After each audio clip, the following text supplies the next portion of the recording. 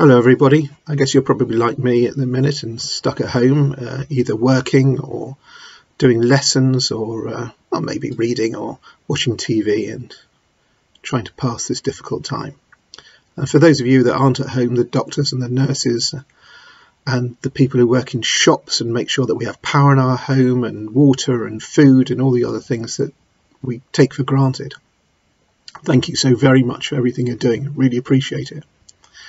I thought perhaps at this difficult time it might be quite nice to um, to read something that's always made me smile because we could do with cheering up. So it's a short poem by Arthur Guiterman and it's called Strictly Germ Proof. The antiseptic baby and the prophylactic pup were playing in the garden when the bunny gambolled up. They looked upon the creature with loathing under undisguised, for it wasn't disinfected and it wasn't sterilised.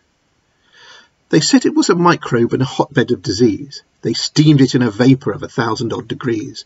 They froze it in a freezer which was cold as banished hope, and washed it in permanganate with carbonated soap. In sulphuretted hydrogen they steeped its wiggly ears.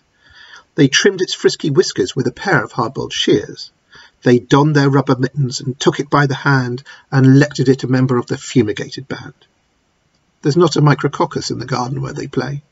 They bathe in pure iodoform a dozen times a day, and each imbibes his rations from a hygienic cup, the bunny and the baby and the prophylactic pup. Thanks, guys. Try and find another funny one soon and share that one as well.